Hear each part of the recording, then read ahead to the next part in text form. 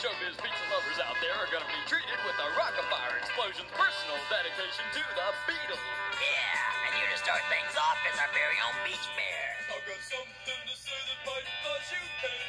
If I get you talking to that bear again, I'm gonna let you down. Let